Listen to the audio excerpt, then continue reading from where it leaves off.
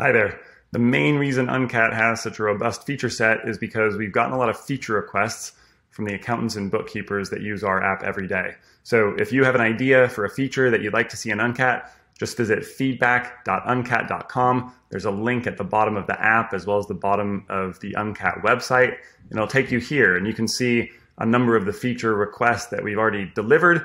You can see ones that are under consideration or in progress and then you can vote on those existing ideas that others have posted. You can also click here to add a suggestion. So if you see something that would make UNCAT better for you and your firm, there's a decent chance it'll make it better for everybody. And so we'd love to hear it and look into how we can add it to UNCAT.